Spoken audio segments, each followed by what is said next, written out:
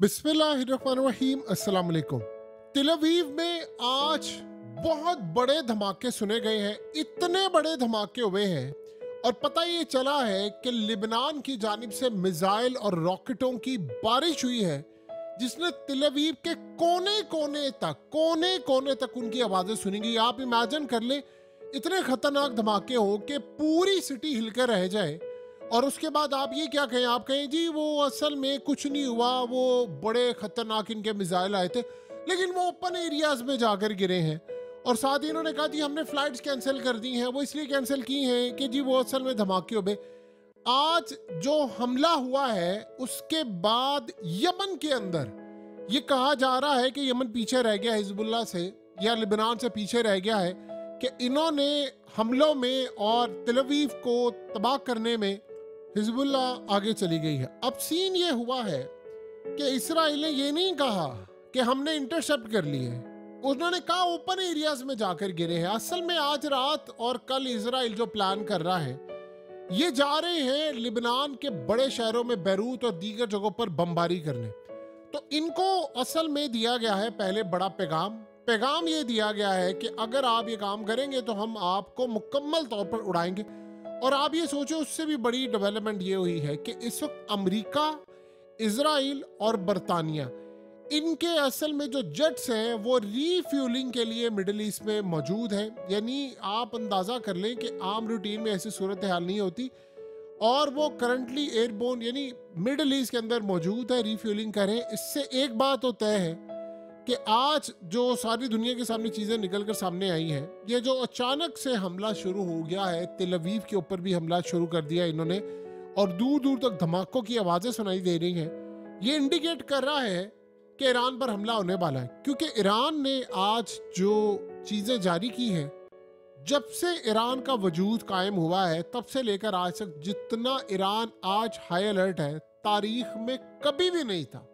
इतना high alert है इतना हाई अलर्ट है कि आप अंदाज़ा नहीं कर सकते कि उनके कई डॉक्यूमेंट्स लीक होकर आ गए हैं कि चप्पा चप्पा ईरान का हाई अलर्ट है, क्योंकि अमेरिका इसराइल और बरतानिया। अब ये गालिबा खबर आ रही है कि तीनों मिलकर हमला करने के लिए जा रहे हैं ईरान पर, और उससे पहले तिलवीव के ऊपर इस वक्त रॉकेटों की बरसात है फ्लाइट्स उनकी कैंसिल हो गई हैं। देखिए फ्लाइट्स कैंसिल करने का एक मकसद ये है, इनको ये पता है कि उनकी मिलिट्री का जो सामान और चीज़ें जाती हैं आपको पता है कि सारी सूरत हाल में जब हमला हो रहा हो, लड़ाई हो रही हो तो एक आधे किसी कमर्शियल फ्लाई को हिट कर दिया तो क्या तबाही होगी? और एक बात आप जेन में रखिएगा इसराइल की। ये कोई ऐसा काम भी कर सकते हैं कि ये खुद ही हिट कर दे किसी एक फ़्लाइट को, और उसके बाद नाम लगा दे, जी, फलाने ने की है। तो बाद में सारी दुनिया को उनके खिलाफ करके, यानी मिसाल के तौर पर लिबनान के खिलाफ करके तो एक जवाज उनसे ले लिया जाए हमला करने का। अगर कोई ये समझ रहा है कि ऐसी पॉसिबिलिटी नहीं है तो ऐसी बहुत सारी पॉसिबिलिटीज सर पर बैठी हुई है। ये जो रॉकेट सायरन और ये चीज़ें हैं, ये तिलवीब में बिल्कुल आज सायरन भी नहीं बचा। ना अलर्ट किया गया है और ना कोई और सूरत है, ना डिटेक्ट हुआ है। ये सबसे ज़्यादा खतरनाक सूरत हाल है। देखिए, अगर तो ये जाकर वहाँ पर तबाही करते हैं तो हिजबुल्ला ने यहाँ पर इनको फिर हमले जो करने हैं वो बड़े ख़तरनाक हो गया अब इनके सायरन में वो दमखम नहीं है। ये खास चीज़ को पूरी तरह डिटेक्ट कर सकते हैं। उसके बाद ये इसराइल पर जब हमला करेंगे तो गालिबा ऐसा प्लान है कि हिजबुल्ला भी साथ ही इनके हमले शुरू कर दे। क्योंकि इस दफ़ा आज हुआ यह है कि ईरान ने अपनी न्यूक्लियर फैसिलिटीज़ के हवाले से इंटरनेशनल अटोमिक एनर्जी का जो इदारा यूनाइटेड नेशन का उनको बता दिया है कि इसराइल हमला करने के लिए जा रहा है हमारी न्यूक्लियर फैसिलिटीज़ पर।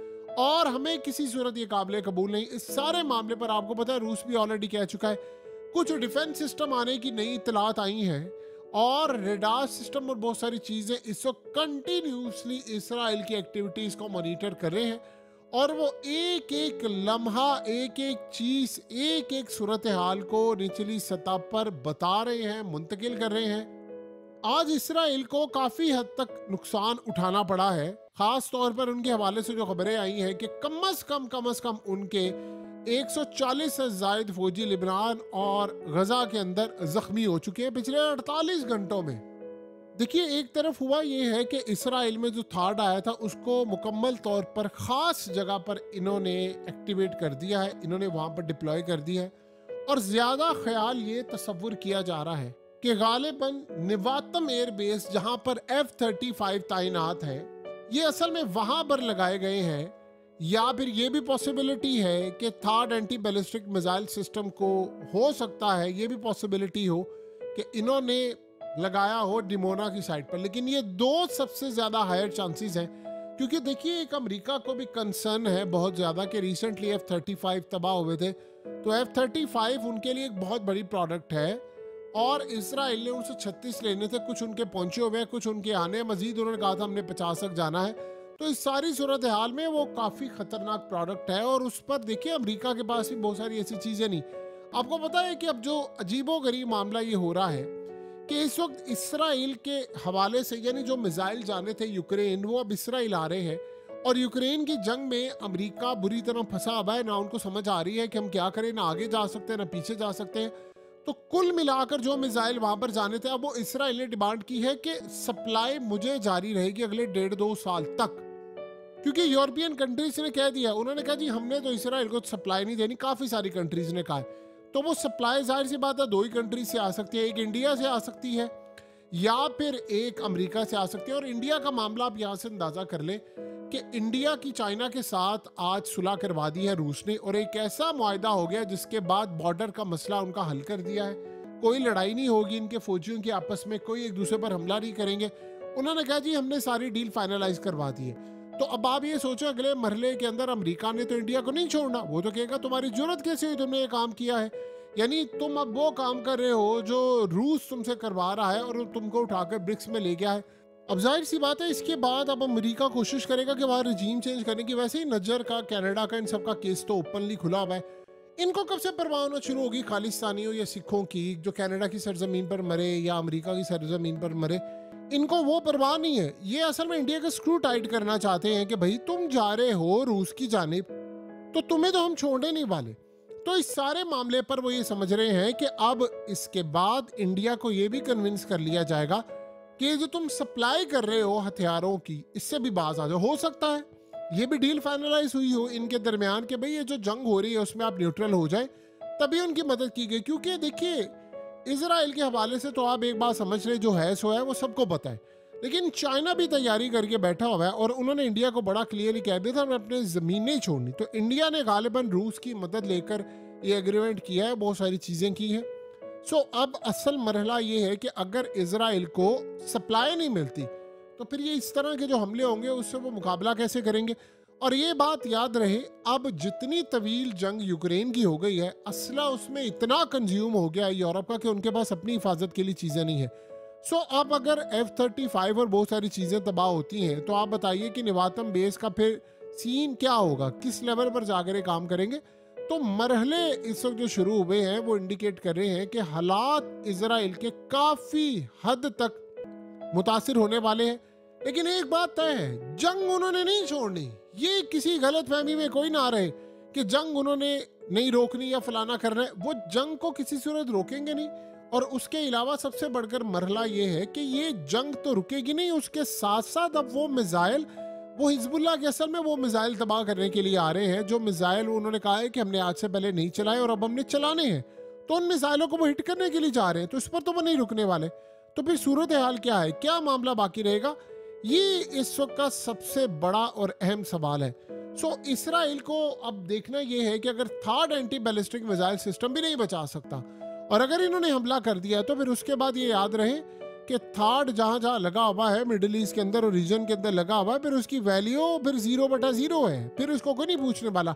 आपको पता है कि अमेरिका, ये जो मिडिल ईस्ट के अंदर जंग छिड़ रही है, अब बहुत सारी ताकतें कोशिश कर रही हैं कि हम रूस से एस फोर हंड्रेड या कोई अर्जेंट बेसिस पर डिफेंस सिस्टम लें, क्योंकि अमेरिका के डिफेंस सिस्टम हो चुके हैं फेल वो कामयाब बिल्कुल भी नहीं है। और चाइना के हवाले से भी उन वो कंसीडर करें क्योंकि देखिए, रूस में तो चले पाबंदियाँ नज़र आती चाइना के पास बहुत सारी चीज़ें हैं। मिसाल के तौर पर उनके पास डिफेंस सिस्टम ऐसे हैं, जो दूर से आने वाले मिसाइलों को रोक सकते हैं, खतरात को रोक सकते हैं। अमेरिका का तो फेल हो गया है। लेकिन रही बात एस फोर हंड्रेड की तो आपको पता है कि एस फोर हंड्रेड में सारा इलेक्ट्रॉनिक्स चाइनीज़ लगा हुआ है। तो ये भी एक बहुत बड़ा एडवांटेज है कि एस फोर हंड्रेड इस लेवल पर जाकर काम करता है, बहुत सारी चीज़ें काम करती है। सो आने वाले वक्त के अंदर मामला इस तरफ़ जाने वाले हैं इसराइल के कि उनको इस बात का अंदेशा है कि ये ना हो कि हमारा थार्ड यहाँ पर जो लगा है, उसी को उड़ा दिया जाए। अब सिर्फ़ जंग होने वाली है, ये लड़ाई जो होने वाली है, उसमें इन्होंने अपने एफ़ थर्टी फाइव बचाने हैं, अपने डिमोना बचाने हैं।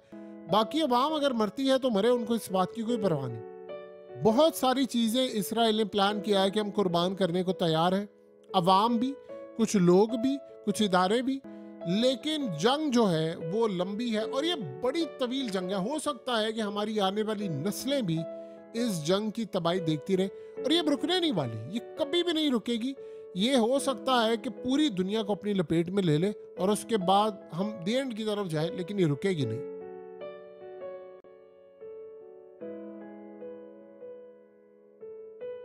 हकीकत टीवी को सब्सक्राइब करना मत भूलें, वीडियो को लाइक करें, शेयर करें। और कमेंट सेक्शन में अपनी राय का इजहार ज़रूर करें।